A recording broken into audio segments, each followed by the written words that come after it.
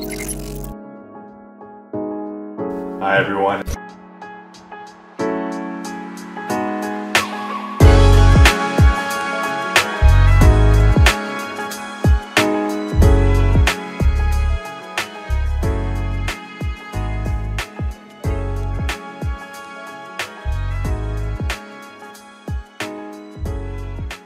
Hey everyone, it's Dr. Cho from the Toronto Concussion Clinic.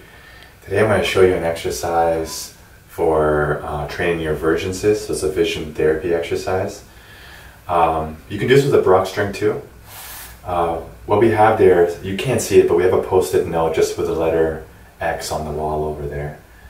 And it's, um, you want to start this where that X is like a foot away from you. And uh, eventually you want to work it up the distance so that it's 8 to 10 feet away?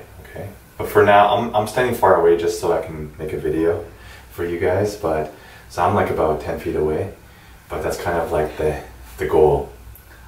And what you do is you start off by looking at that X, okay? So I'm looking at that X, and then I'm gonna bring my index finger and I'm gonna bring it about six to eight inches away from my eyes, right?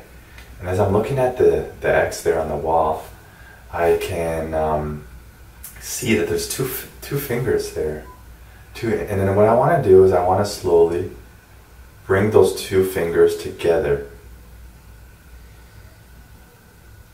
Bringing me confused. And I want you to feel your eyes move in together towards the finger. And then I can see in the distance, I can actually see two X's there on the wall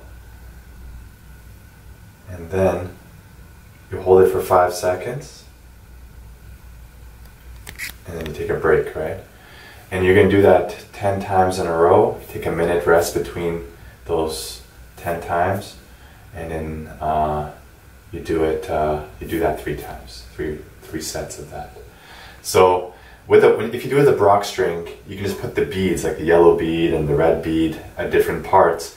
And some of you like may find that six to eight inches is too close. For most of you, that should be okay, actually, frankly. But uh, and what you'll do is you'll come in closer and closer and closer. Okay, and so right now the Z is at, the X is at uh, um, 10 feet, and I'm looking at my bringing my fingers in.